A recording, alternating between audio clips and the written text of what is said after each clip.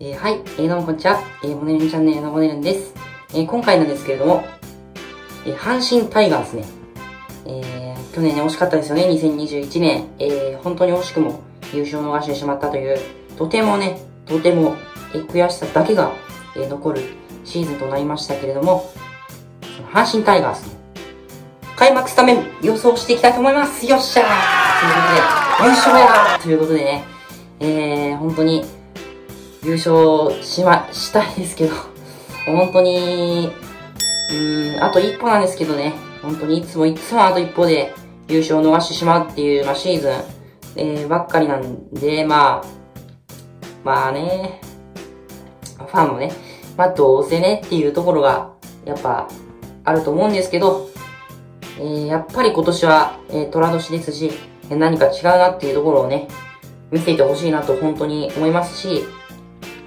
その若手、まあ、井上康太選手とか、えー、ね、ドラフトの、ね、前川右京選手とかの、えー、頑張り次第で、えー、本当にね、変わってくるくると思いますし、あとはね、えー、去年、ちょっとシーズンのね、えー、後半から、えー、ちょっとまあ、打てなくなってしまった、えー、佐藤輝明選手が、えー、本当に覚醒したら、これはすごいことになりますよ。うん。間違いなく。でね、大山選手、マルテ選手などの主力も、えー、もう一歩踏み出して、えー、本当にね、まあ、とにかく打ってほしいです。はい。ということでね、早速、そのスタメンのオーダーを発表していきたいと思います。レッツゴー、えー、ではですね、えー、1番から発表していきたいと思います。1番、センター、近本。ということで、えー、まあ、ここは本当に、まあ、不動のね、センターですよね。やっぱりセンターね、えー、他球団の選手も、えー、まあすごい優秀でですね、えー、ヤクルトだったら青木選手だったりとか、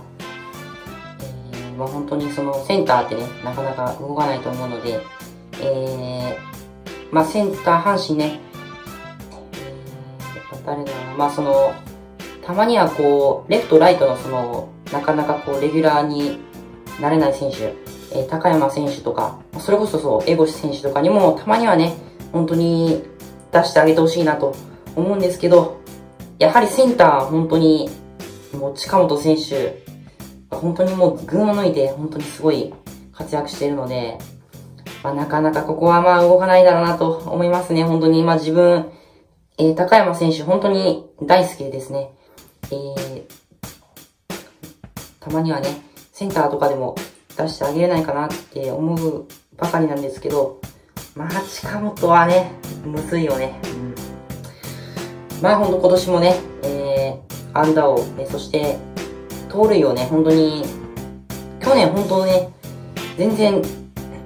あのー、いつも比べたら、盗塁の数が少なかったので、今年はね、えー、その、40盗塁とか、それこそね、赤星さんの記録もね、いつか超えてほしいなと思いますし、本当はね、えー、トラのスピードスタートして、えー、今年もね、頑張ってほしいなと、切り込み隊長ね、頑張ってほしいなと思います。えー、ここからはまあ、えー、サクッと紹介していけたらなと思います。えー、2番、ショート、中野選手。はい、ここもね、えー、まあ、ほぼ悩まないというか、うん。その、やっぱり中野選手、まあ去年、盗塁王という場面、え、部分では足のね、速さも見せつけましたし、えー、もちろんね、エラーの数は結構あったんですけれども、華麗な守備、本当に、ね、僕、ね、年間20試合、えー、見に行きましたけど、あのー、華麗な守備、本当ね、何回も見せられてですね、うん、なんでこれが新人なんだってね、思いましたよ。とにかくすごかった、本当に華麗な守備。で、まあその、先ほども言ったように、足の速さでも、えー、阪神で一番、えー、盗塁、まあセリーグで一番、えー、盗塁多かったということで盗塁王になってますし、まあここもね、うん、動かないだろうなと思います。で、えー、3番、ファースト、マルテ。うん。まあここも、特に悩みはしなかったですね。うん。とね、最後の方、やっぱりこう、一番大事な時に、えー、ホームランが見たかったんですけど、まあ、なかなかね、見れなかったんですけど、えー、本当その、マルテのホームランだけで勝った試合とかも結構ありましたし、えー、マルテのホームランで追いついた試合、まあ、えー、最近で言うと、まあ、ヤクルト戦とかかな、うん、ありましたし、やっぱりマルテ選手にはなんやかんやすごく助けられていまして、ただね、4番での打率があまり良くないので、ちょっとね、マルテはプレッシャーに弱かったりするのかなと思うので、えー、やっぱり3番起用がいいのかなと僕は思いました。4番、サード、大山ということで、まあ、ちょっとね、4番はね、サトテルとかもいますし、迷ったんですけど、うん、やっぱり開幕スタメンということで、ね、まあ、大山選手しかいないでしょと、いうことで、大山選手ね、えー、しました。とにかくね、今年は、えー、3割30本。まあ本当ね、去年のね、本当巨人戦のあのサヨナラホームランとかすごかったですし、えー、3点差逆転劇、横浜戦のやつも、やっぱ大山選手が、えー、最後にね、えー、打ってくれてるっていう、やっぱりね、勝負強さもある大山選手なので、えー、今年もね、えー、勝負強さを発揮してほしいなと思いました。ワン、ライト、佐藤輝。はい、えー、佐藤輝明選手ですね、5番ライト。えー、ほんとね、もう、去年の今頃かな、えー、もうちょいやとか、えー、オープン戦でね、ちゃくちゃホームラン、どでかいホームラン打ちまくって、本当にもう、スーパースターということでもう、一躍、もう超超超話題になりまして、えー、西武戦でも、えー、1試合3本までだったっけな。えー、本当にね、もう、とにかく、えー、すごいパワーの持ち主だったんですけど、まあちょっとね、去年、えー、後半ね、ちょっと、まあいろいろあってか、なかなか打てない時期が続いちゃったんですけど、うん、まあそのね、悔しさもバネにして、今年ね、えー、本当に頑張ってほしいなと思いますし、僕自身もね、本当に、えー、推し結構いるんですけど、えー、サトテルも大好きなんでね、えー本当にもう今年はね、もう、あのー、バンバン打って、え去年もね、え24ホーマーということで、新人にしてはもうすごすぎる記録なんですけど、えー、まあ、40本ぐらい打ってくれたらもうね、大満足かなと思います。で、6番、レフト、前川くんです。はい。まあ、ここはちょっとで自分の、え好きな選手っていう部分もあります。まあ、正直ね、ロハスが、えー、まあ、みんなが予想するところかなと思うんですけど、まあ、ロハス以外にもね、実は高山選手、まあ僕の推しもういるので、えー、ぶっちゃけね、高山選手か前川選手だったら嬉しいなっていうのが僕の、え感じですね。えー、右京君は本当にすごいパワーもあるんでね、もうとにかく甲子園のね、バックスクリーンね、えー、バンバンバンバン打ってね、えー、壊すぐらいの勢いで頑張ってほしいなと思いました。7番、セカンド、糸原。うん。まあ、糸原選手もシーズン、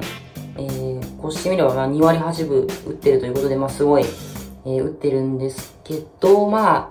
どうなんだろうね。まあ、2番での打率が良かったりとか、まあ、いろいろあると思うんですけど、うーん、まあ、個人的には、7、8番あたりの方が、うーん、いいのかなと思いますし、えー、糸原梅野選手、まあ、糸原選手、梅野選手っていう、えー、結構打ってくれるっていう、このね、あの、つながりで、えー、バンバン打ってほしいっていう感じで、まあ、糸原選手、えーせえー、7番ですね。はい。まあ、とにかく頑張ってほしいなと思います。で、8番、えー、キャッチャー、梅野。うん。えー、シーズン後半の去年、えー、坂本誠志郎選手が、えー、めちゃくちゃね、えー、使われて頑張って、ね、めちゃ結果出してたんですけど、やっぱりね、えー、梅ちゃん、なんとか残留してくれて、えー、やっぱり正捕手、阪神の正捕手は、やっぱ梅ちゃんでしょ。うん。って感じです。で、9番ピッチャー、青柳選手、えー、先発ですね。開幕スタメンの、開幕先発です。はい。えー、青柳投手です。うん。本当にね、えー、もう、あのー、とにかくね、もう去年もね、その、青柳投手が、えー、登板した試合も、えー、雨が降ってたりとか、えー、青柳投手いつもね、えー、登板するときに雨が降って、雨柳って言われてるんですけど、えー、もうそのね、とにかく、えー、去年はね、すごかったですね。最多勝、13勝かな。うん。柳投手を抑えての記録ということで、あの優秀な柳投手を抑えての記録、本当素晴らしいなと思います。まあ、アンダースローってね、結構その、球威とかもね、こう、もちろんね、えー、あの、普通に投げるよりも球威が劣ると思うんですけど、その中での、えー、あのすごい、ね、投球術ということで、えー、ちょっとシリーズでね、あのー、悔しかったなとは思うんですけど、その悔しさもバネにして、今年はもう15勝、まあ18勝なんなら20勝、伊川投手超え狙ってほしいなと思いました。で、えー、抑えはね、ケラー投手、えー、スアレスの穴を埋めてほしいなと、えー、ほんとスアレスがえげつなかったんでね、もうなんとかしてね、少しでも、えー、抑えてほしいなと思います。もうスアレスが抜けたのは正直痛いけど、ケラー投手もね、えー、すごい投手だと思うんで、あのー、あとインスタにフォローしてくれてありがとうございます。もう本当に、ね、ファンタイムも、えー、いいらしいです。えー、157キロだったっけな、まあ、スアレスにはね、なかなか及ばないと思うんですけれども、うんとにかく、なんとかして抑えてほしいなと思います。えー、そんな感じでございます。えー、結構ね、かなり適当な感じで説明しちゃってね、まあそこはまあ僕の、えー、スタイルなので、えー、申し訳ないんですけど、えー、もしよかったら、えー、阪神に少しでも興味ある方、えー、僕に少しでも興味ある方は、えー、グッドボタン、チャンネル登録、高評価、よろしくお願いします。阪神優勝やバイバイ。